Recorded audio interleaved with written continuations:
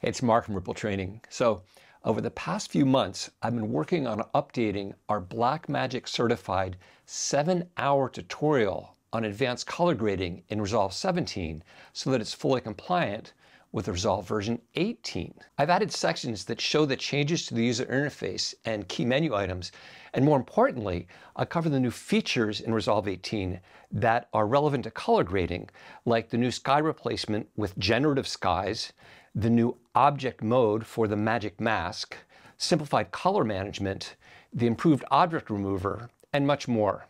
The tutorial comes with all the projects and media for following along. The tutorial's on sale for a limited time, so check it out at the link below. Now, today on MacBreak Studio, I'm going to show you an excerpt from a lesson where we use another new feature in Resolve 18, the depth matte effect, in order to make selections for color grading.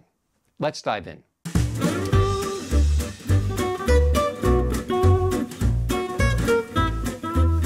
Another way to isolate specific areas of a shot for secondary color correction is by using the depth matte effect, which was added to Resolve 18. Note that since this effect uses DaVinci Resolve's neural engine, you'll need the studio version to use it without a watermark. I'll select this shot 04 and scrub through it.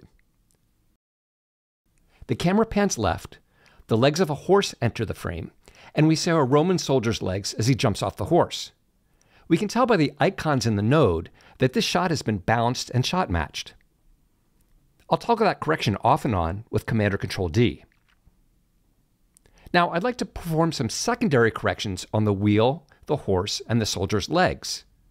The depth matte effect can isolate areas based on how far they are from the camera.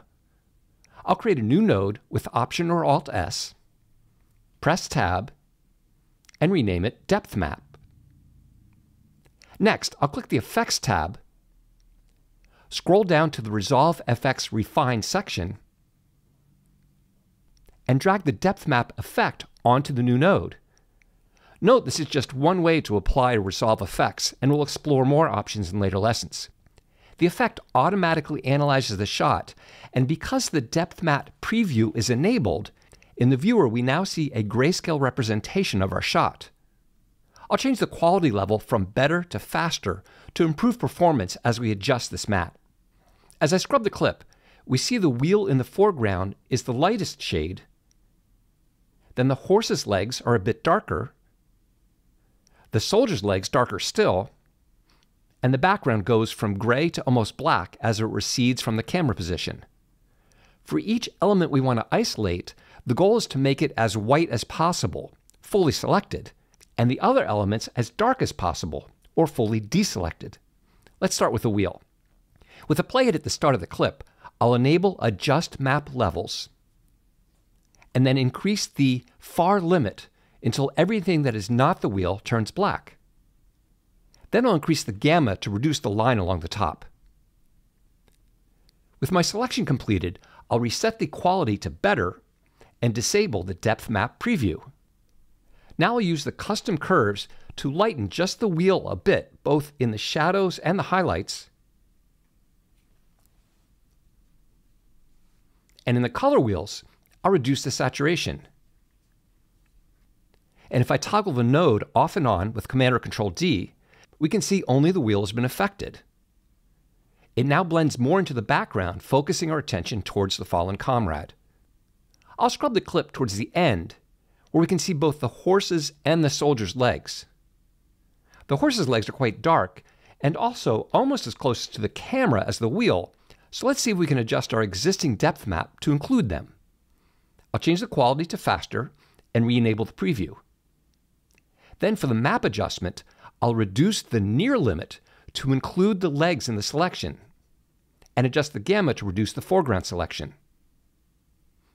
And if we switch back to better quality, and disable the preview, then toggle the correction with Command or Control D, we can see the horse's legs are subtly affected, bringing out some detail in the hair near the hoofs. To isolate the rider's legs, we can use a separate instance of the depth matte effect. I'll add a new node with Option or Alt S, select the depth map node and press Command or Control C to copy, select the new node and press Command or Control V to paste, and in the inspector, click the icon at the top right to reset the effect. And set the quality to faster.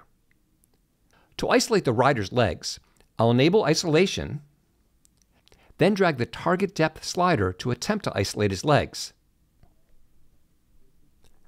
Allow to foreground is also selected, so I'll reduce the tolerance almost all the way.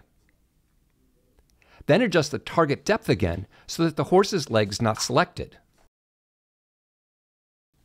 To fully remove the horse's leg, I can enable post-processing, contract the map slightly, and give it a bit of blur. That same region of the ground remains selected, but that should be okay with a gentle correction. I'll switch the quality back to better and disable the preview. Since we copied over our corrections from the previous node, the ground in this area is quite a bit brighter, so I'll adjust the custom curve to bring that down. And I'll increase the saturation a bit to increase the contrast between the living and dead soldiers. I'll toggle the correction off and on with Command or Control D. As you can see, the depth matte effect is a useful new tool in Resolve 18 for performing secondary corrections. What else are you interested in learning about color grading in DaVinci Resolve? Leave us a comment below. We'll see you next time here on MacBreak Studio.